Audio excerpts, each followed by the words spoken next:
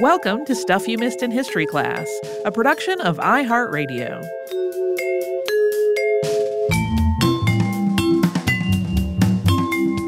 Happy Friday. I'm Tracy V. Wilson. And I'm Holly Frey. This was unearthed time. Sure was. Yeah. Um, as I was planning out the calendar of when to do this, normally what I have started trying to do is um, when the quarter ends, the first recording session we have after the end of that quarter is when we record Unearthed.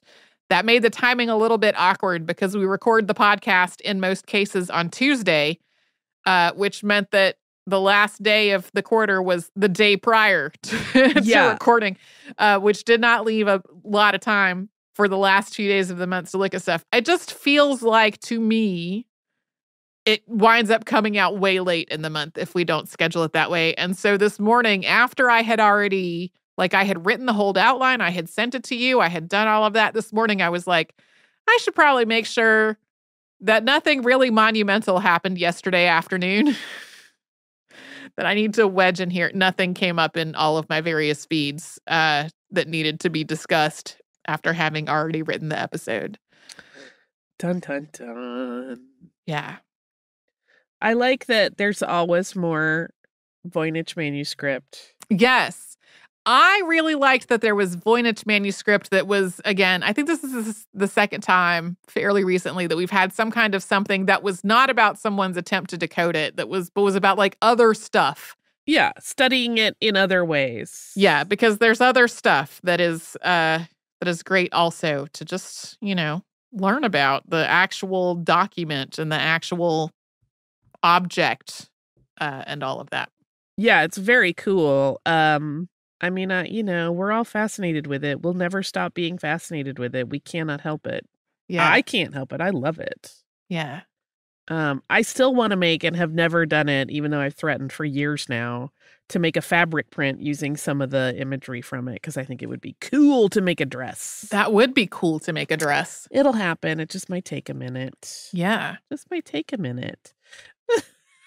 One of the things that kind of tickled me, it uh I was thinking about it when we were talking about some of the art pieces that just kind of vanish from the historical record. Mm-hmm. And, you know, on Criminalia, we did a, a season of art heists, Mm-hmm. which were in themselves illuminating because we discovered in our research how often it was super easy to just take something off a wall and walk because Oh yeah. the alarms didn't exist or did exist but weren't functioning and they hadn't fixed them or they worked just fine and nobody regularly turned them on. Like there are so many Right. instances of that.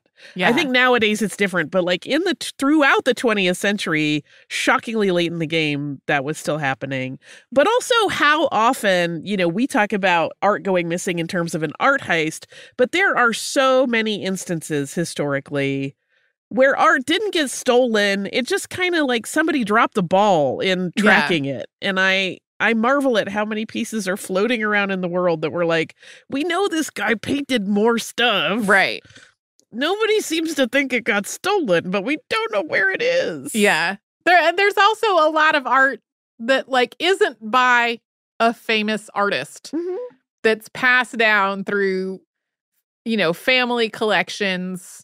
Uh folks might think of it as, you know, just a family heirloom or just a painting that they heard that their great grandparents bought when they were in Yeah. uh, Ireland or whatever um, that aren't necessarily something that someone would keep up with. Um, and especially as, you know, over the last few decades, there have been efforts to learn more about uh, artists who were overlooked, like women artists who didn't necessarily make a huge name for themselves. Uh, but somebody has realized, oh, this person's work was actually really influential in their artistic community, and we didn't realize. And it becomes time to try to like trace their surviving artwork.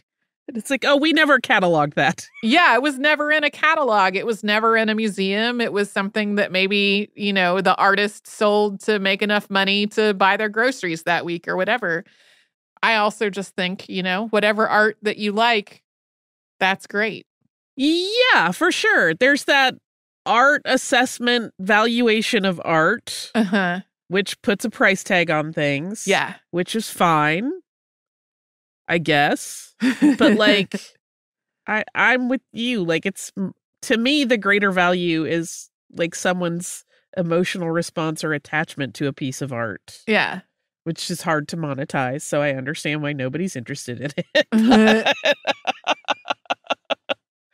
Um, but it does fascinate me how much art has been sitting in places right. lost. I mean, there are still art pieces, you know, that we know, for example, were taken that haven't been recovered. And I always wonder, like, in some cases, they probably are gone forever. Like Right. they got trashed. Like there's a, a Dalí that was on Rikers Island and got stolen, and that probably got trashed by the people that stole it. Yeah. But there are also cases where, like, I mean, if you think about why would you steal art in the first place, it's presumably to sell it. Mhm. And that means there are private collectors that just want it. They don't want Yeah. anybody to know they have it. They just want it. And I wonder Mm-hmm. how many things are sitting in someone's private little gallery that Mhm. we hope one day are recovered so other people can see that beautiful art. Yeah. I have not looked up the latest, latest on the Isabella Stewart Gardner Museum heist. Uh, we have had some updates about the case over the years. Yeah. Uh, but one of the fears with that is that, like, at this point, those artworks are just gone. Mhm. Um, we don't know for sure that they're just gone, but like, it is a possibility that the works were stolen. People realized, oh, I can't actually sell this because, oops, there's a gigantic news story about these missing paintings. Right.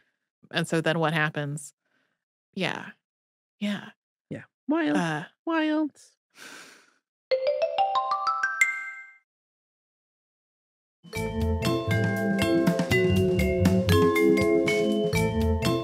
Every time we say Antikythera now, I think of Mads Mikkelsen saying Antikythera, and I just, I don't, I'm in my own head at that point. Yeah. I'm gone. I'm on a lost little tangent where I'm just thinking about Indiana Jones movies. Yeah, I can't remember if I have talked about playing Assassin's Creed Odyssey and every single proper name that we've ever said on the show uh, is pronounced much differently in that video game because a lot of it is like more of a, a like a Greek influenced pronunciation. Right. And uh, so when I was playing that game, there would be times when I would just, my brain would kind of reset for a second because I would hear a voice actor from the video game say a name a hundred percent different than I, differently than I have ever said it or heard it said, uh, which was always funny to me. Um, I was particularly delighted by the image of using a tennis ball on a stick to apply a cleaning solution to a cannon. Pretty good. Tennis balls on sticks are very important. Yeah. You can use them to train animals. Uh-huh. You can use them to, you know, keep your walker from sticking on things, and you can use them to clean cannons. I was going to say you can use them to give somebody something to look at when they're recording on a green screen. also great. Also Yeah. great. So Lots many of options. options for the tennis balls on sticks. Shout out to the tennis balls on sticks, the unsung heroes of humanity. Yeah. Yeah. Uh, I am not completely sure if they figured out uh, exactly what the mechanism was on like the prior chemicals that had been used and the exact chemical composition of the cannon. There comes a point in these in unearthed episodes where like I I have to stop getting further detail or I will be out of time. Right. Uh, and Uh, in this particular case, I had a commitment that required me to leave my desk at a specific time. So I did not have, a, I, there was no wiggle room to be like, oh, if I spend half an hour extra trying to figure out some backstory on this, I'll just work a little. Like, no, that was not an option. I had to be like, stop reading about the tennis ball. but it's so fun. And then my question is like, how do you know there's nothing harmful in the finish of the tennis ball? Yeah, I don't know how that how that was arrived at as like the best way to do it. I don't know. Uh, anyway, as always, I also have a gigantic list of things that were maybe, maybe we might talk about, but there was not enough time for them. Coin hoards, your favorite. Yeah, I no no coin hoards. I did think of you recently when I uh, ran to London for a brief trip and we went to the British Museum and there are lots of coin hoard displays. And I was Oh, yeah. like, it's Tracy's nightmare. yeah, no, no coin hoards. Um, so some of the things that we talked about are things that were auctioned. That was part of what we discussed.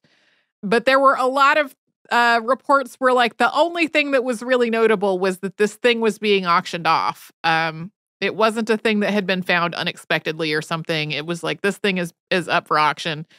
Uh, and I, I did not find that as interesting as this thing was found in someone's attic and then it was auctioned. A couple of them were headlines about things that had been discovered on Antiques Roadshow to be something notable. And um, I originally had one on, uh, I think maybe the artwork list. And then I sort of was like, this is really the whole point of Antiques Roadshow, though.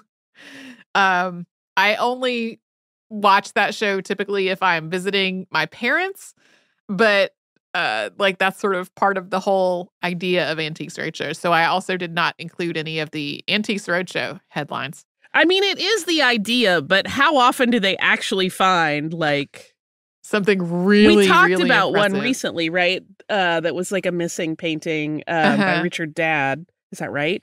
Um, but uh, I mean, I do think like it, it still has merit because they don't often go, "Oh gosh, this Yeah. isn't a painting of a master that's been missing for two hundred years." yes. I also had two headlines that we did not wind up talking about uh, because there were people who damaged things. One, somebody who wet down some cave art so that it would look better in a picture they were taking. And the other, somebody who um, uh, carved uh, his initials into a wall at Pompeii. And I would just like to say, please don't do that. Please do not wet down cave art. Please do not. Please do not deface things. I know there's plenty of graffiti already at Pompeii that is from hundreds or thousands of years ago. We don't need to add additional to that. It's weird, right? There's that strange impulsive thing that people just step outside of like context and think, Uh-huh. I want to do this thing. I'm going to do this. They're not even thinking it. They're just doing it. It's bypassing any kind of like uh reasoning going on in their prefrontal cortex. They're just it's like their hand is reaching out and they're already doing it. And I wish there were a way to stop that. that did also happen with a child in one of the uh like an actual small child who knocked over something and Prefrontal cortex not done yet. not Still done. cooking. uh like a small child so anyway um if you're an adult person just don't don't deface the artwork don't knock down uh don't knock down cool rock formations like just don't just don't do any of that Don't eat bog butter. don't eat the bog butter um Unless you're a trained scientist who presumably has help standing by in case something goes awry. uh and hopefully access to good medical care in case there's some microbes in there that are a problem Yeah. I mean, the whole point is the bog helps preserve the butter, but still, uh, that's a long time. Mhm. So, anyway, whatever's happening on your weekend, uh, I hope it's a lot of fun. Maybe you've got some cool museum stuff on your radar. Whatever it is, I hope it's great. We will be back with a Saturday Classic tomorrow, and we will be back with something brand new on Monday.